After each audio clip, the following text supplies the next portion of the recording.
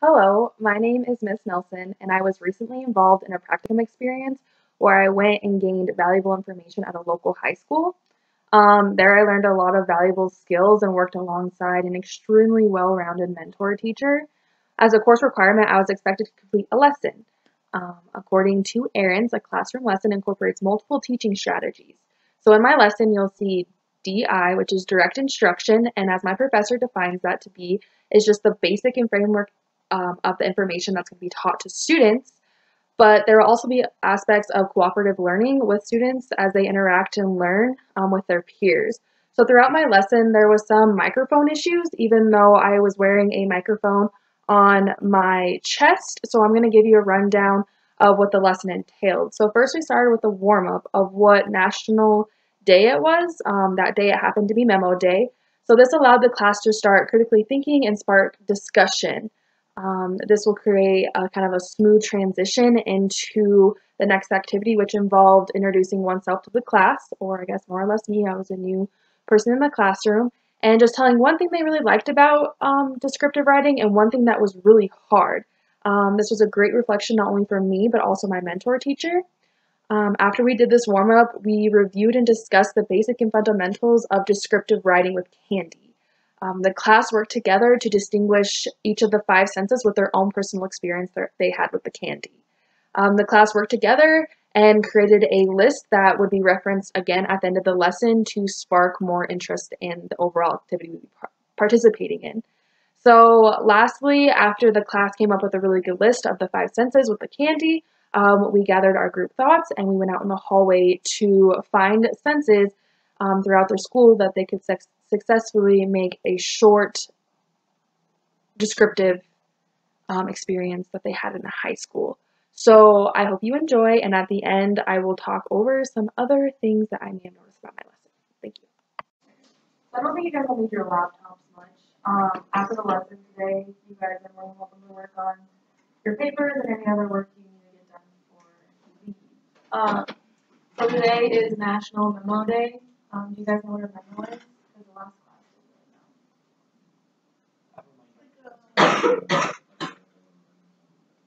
Yeah, yep, it's like a professional business letter reminder.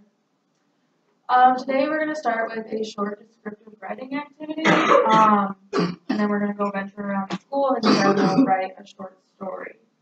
Um, so because I came in so late, I don't really know a whole lot of what you guys know about descriptive writing. So I think it would be cool if we around the room and told each other, or mainly told me your guys' names, and then something you found interesting or liked about creative writing, something you really struggled with. So my name is Miss Nelson. Um, I like descriptive writing because it paints a picture in your head, and the thing I struggle with the most is taste, like incorporating taste. I'm Austin. Uh, the thing I like most is being creative with creative writing, obviously. And then the thing I struggle with is getting started. Um, I'm Haley, and what I like about creative writing, I kind of like how it's like, getting, like getting ideas out of your head if you need to, and then the thing I struggle with most is building. Yeah. Um, do you wanna- Uh, I'm Ashley. I like that you can like create a story of your own with something and share it with people. And I struggle most with like keeping the same tense, honestly. Yeah. I switch my tense a lot. I'm Chris. I like how it doesn't, you don't really have to follow any rules all the time, whether it be like physical or just writing rules. I just struggle with just getting started. Yeah, that is hard, especially if there's no like writing prompts. I feel like that's where I struggle too. I'm McCall. Um, I like how you can just write and express yourself, and then I struggle with ending the story. Um, I'm Jacqueline, and I struggle with being creative. and, um,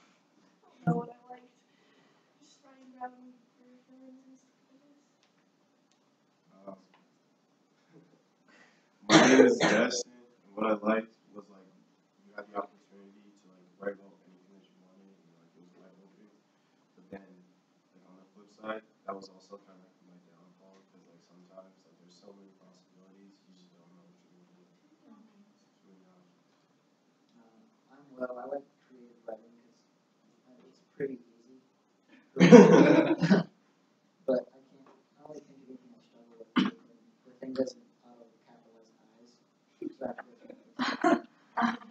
Wow, what a struggle. Yeah. Um, I don't, and what I like is that we get a lot of freedom, like with our assignments, and then a lot of time to work on them, and what I struggle with is literally just being creative. I get all these ideas in my head, and then it just goes bad. Bad. I'm McKenna, and um, I like the creative writing because you get to create your own world and like bring the writer or the reader into your world that you create. Um, one thing I struggle with is just coming up with ideas. Um, my name's Mel, and I enjoyed, um, like creating a story and then, um, like having an idea and then being able to create a story out of just like one idea. And then I kind of struggled with ending my stories, like, cause like I have this main topic and then I didn't really know how to end it. I'm Katisa, and I like like using imagery and stuff like that. Um, and I struggle with coming up with ideas. Hi, uh, I'm David, and I like creative writing because it's not as boring as other types of writing. I struggle with writing dialogue. Oh, I'm also, yeah, of like everybody says, I like that you can create your own world, own people, like your own theme and stuff, but what I struggle with the most is because trying to keep it short, because then I start getting ideas and I'm not at it all. With that? I was always told that papers are never finished, they're just due. So that's important to keep in mind. So that's not bad. Um, so we're gonna start today with a warm-up activity with some Jolly Ranchers. And I want you guys to just think about everything in this Jolly Rancher. Um, think of the five senses, think of the show, not tell, and then we're, we'll describe it after a couple of seconds, I don't want to on this whole thing.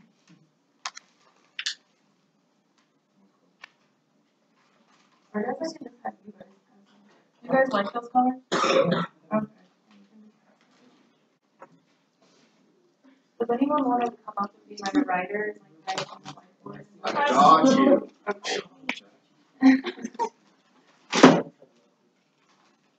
Okay. Okay, you know what, Jackie? Let's fight right now, in the front of the class, right here.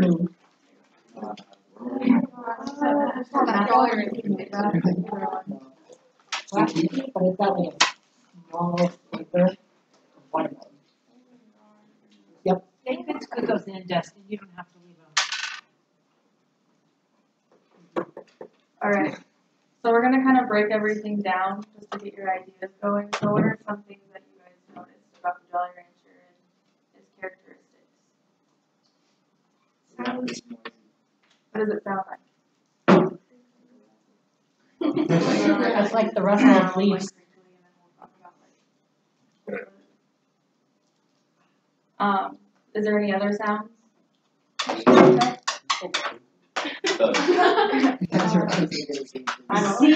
I N K L Y. Um, is there any other noises we can think of?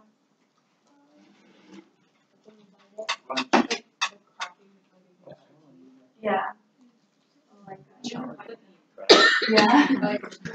Like clicking, yeah, clicking, and it's like kind of sticky. Um, is there any other sounds you guys can think of?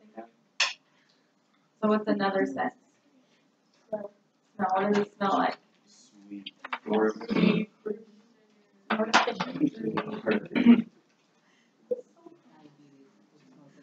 It smells like diabetes.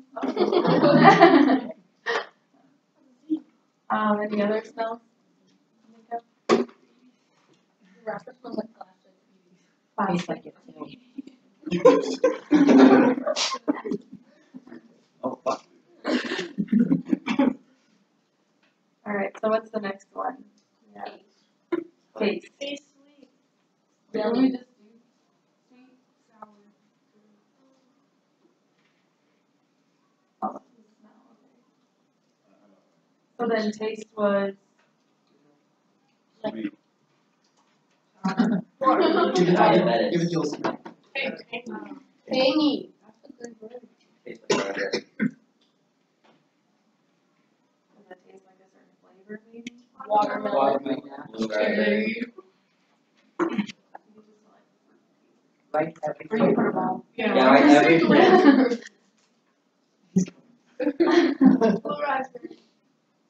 Hold on.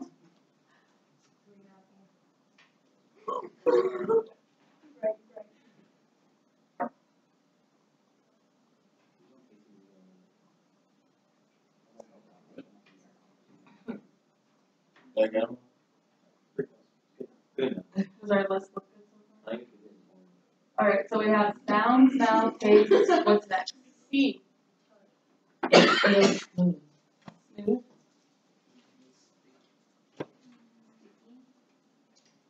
Hard.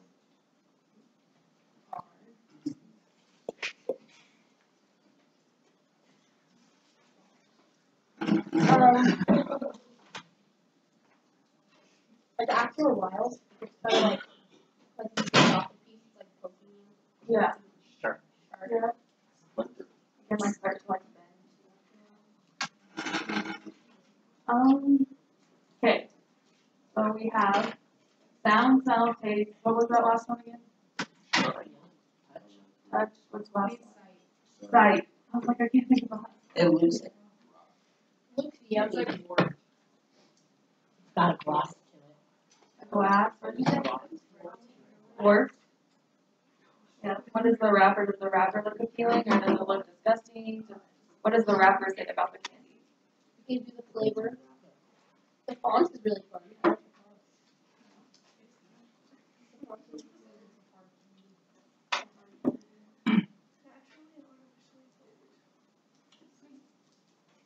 Um, does anyone else have anything to say? No? Yeah, All I can say about Jordan. Yeah. Yeah, it is crazy if you break things down, how much you can get from just one little,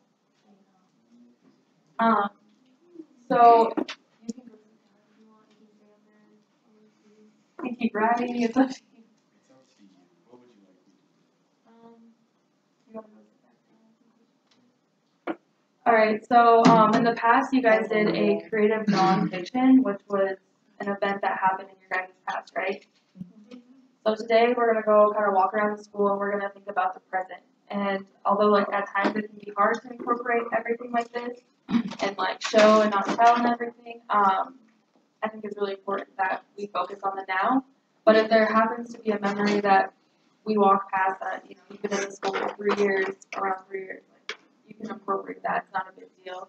Um, I don't think this will be really fun activity for the seniors, because you guys are almost gone. So it's important to focus on the now and remember Last class. this. So, um, you guys wanna get up and we'll go venture around? You guys will be my guide, because I've never really been around this school, so wherever you guys wanna go, down. Pay attention to something that we're in your environment, your surroundings. We're just gonna write just a short story, nothing crazy, just pencil. Writing one together. No, just individual. Well, we can do it together. I would do it, but I have to have assessments to show my professor. Fair enough, Yeah. So if you guys wanna get a, uh, paper and pencil out and, uh, just write a short story, yeah. fair. We go like a. Like, I don't usually, are there some back Yeah. there? Well, I need some paper and a pencil.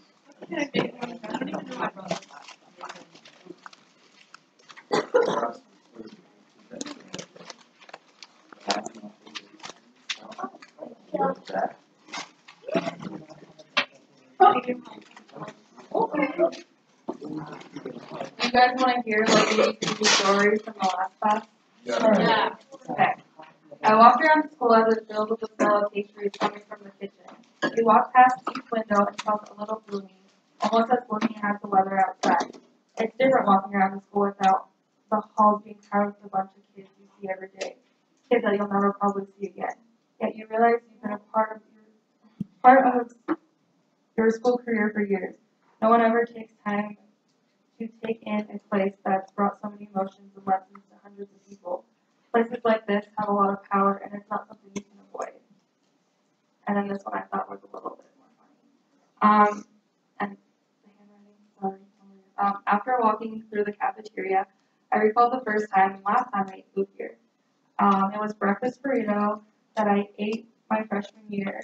I'm a big fan of breakfast, so after taking a bite of the odd smelling brown tortilla and tasting all the cheap steamed artificial mush inside, I instantly knew that it would be my last meal from this place. Maybe I was just picky that morning, but I don't think I'll ever eat a worse breakfast burrito of my life.